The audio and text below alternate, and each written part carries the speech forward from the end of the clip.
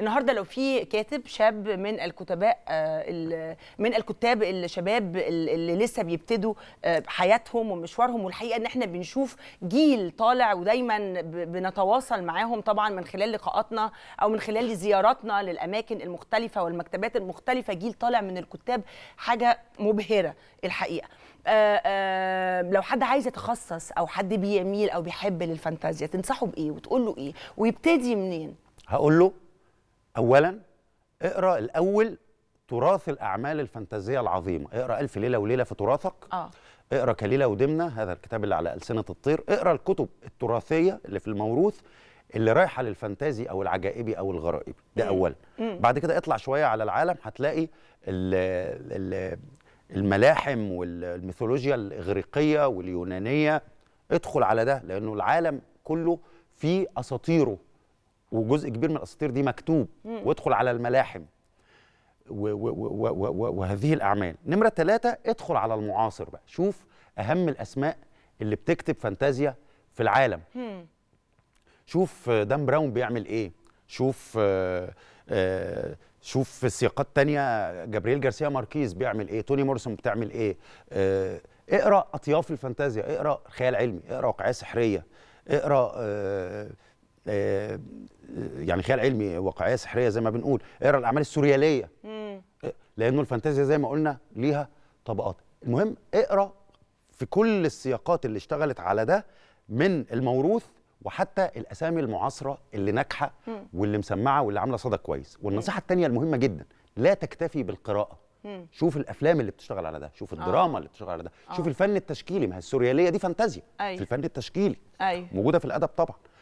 هتكون رؤية شمولية لهذا التيار ولفنونه. وإذا تسنى لك أن تقرأ كتبا نقدية تشرح وتفصل جانب من هذه آه، الظواهر اعمل ده علشان تخلي عندك معرفة منظمة بما تفعل.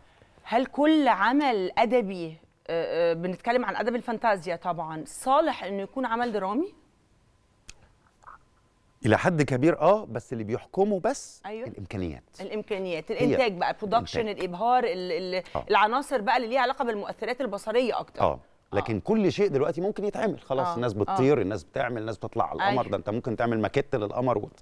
بس إمكانيات لو متوفرة أيوه أعتقد إنه 90% من من الأعمال الفانتازية آه، تقدر وفي دليل جميل جدا إنه في أعمال فانتازية قديمة في, في الأدب آه، بدأت بقت تتعمل بشكل حديث دلوقتي لما الإمكانيات قدرت تعملها أيوه يعني. وقت صدورها ما كانتش. بتتعمل قبل كده لأنه ما كانش فيه الإمكانيات دي وما كانش فيه بالضبط. الحماس ده وما كانش فيه الإقبال ده كمان بالضبط. يمكن إنما النهارده ابتدت تتعمل وهي أعمال مش جديدة مش جديد صحيح أعمال مبكرة صحيح. جدا. صح صح صح بما في ذلك الملاحم زي الأوديسا والالياذه دي بقت أفلام في هوليوود هل كل مجتمع ليه شكل الفانتازيا الخاص بيه؟ يعني أنت النهارده لما تيجي تقدم حاجة للمجتمع المصري، أنت عارف إن المصريين مثلا بيحبوا المشاعر قوي، شعب عاطفي، تقدم له بطل شعبي، تقدم له قصة حب في النص فهو كده خلاص أنت ضمنته. آآ آآ شعب مثلا تاني يكون بيميل إلى العنف أكتر، بيميل إلى الحركة أكتر، فتقدم له حاجة اكشن في النص تبقى أنت كده ضمنته. هل ده موجود في الفانتازيا؟ موجود. موجود. و و و وعلى الفانتازيا إنها تراعي السياق اللي هي طالعة منه. آه. يعني باتمان مثلا في في أمريكا هو تمثيل للشخصية الأمريكية اللي بتشتغل على كذا وبتحارب الفساد في السياق الأمريكي. أيوه. سوبرمان. أيوه. في فانتازيا أكتر من كده. ده أيوة. ده تركيبة السوبرمان الأمريكي. بي- له أبعاد سياسية وله أبعاد اجتماعية في الشخصية الأمريكية. أيوه. وكذلك إحنا عندنا عندنا شخصياتنا عندنا آم، شخصياتنا ال- ال- اللي موجودة في الفانتازيا الشرقية وال- والعربية. ولكن أهم بقى ما في الفانتازيا إيه؟ إنك تراعي الخصوصية بس في نفس الوقت رهانك إنك تنقل ثقافتك. فلو شافك الأمريكي أو الصيني أو كده يقدر يتفاعل معاك وبدليل إنه ألف ليلة وليلة هذا النص العربي اللي هو كله مشبع بالخصوصية الثقافة العربية العالم كله لما ترجمه انبهر بيه وحبه.